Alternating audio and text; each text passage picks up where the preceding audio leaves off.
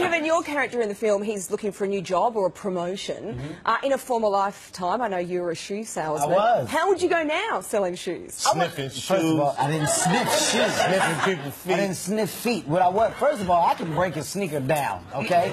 do you supinate? Do you pronate? Huh? Do you want to shoe with polyurethane, EVA, condensed EVA? Huh? Did, did you see that? I just approached you. I could have sold you something right now. Sold one lady a, a, a Timberland boot with the internet on it. I told her it's a long thing. This is exactly like watching the film. Like you just say this stuff, and Cube's just like, "Would you shut up?" Yeah, it has no effect on He, people at all. he sold shoes to look up ladies' dresses. No, A difference. Don't believe that out there. Don't believe What that. that? How would you sell me that shoe? Right here? Yeah, you sell me that Okay, shoe. Okay, this is exactly how I would say the shoe. Yeah. First of all, ma'am, you look like a person with high arches. If you do, this is the shoe for you. Why? Because you want to go with a smaller heel. Not too thick of a heel for support. I know that you walk hard. Being that you do, and you're four foot, I put a little more cushion in that. Being that I think you're stylish, do a little bit of leopard on there for you.